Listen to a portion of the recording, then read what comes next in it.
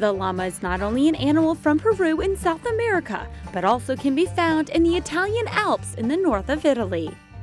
It was 22 years ago when Walter decided to make a living raising llamas, and it seems it's not going so well. So he decided with his two friends, both named Thomas, to carry out something particular to travel the 1,000 kilometers that separate their home in Bolzano from the Vatican.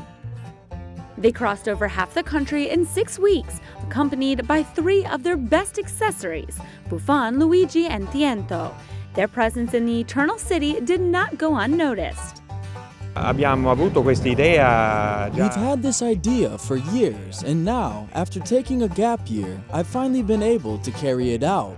Avevamo con noi la tenda, però eh, We had a tent with us, but when it got dark, it was minus 12 degrees, so we could not sleep outside.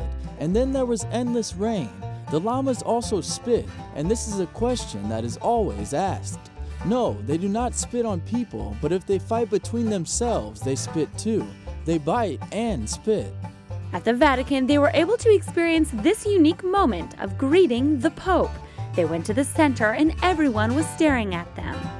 passato, è sceso dal, dal He got out of the Pope Mobile and we shook his hand. It was an incredible experience.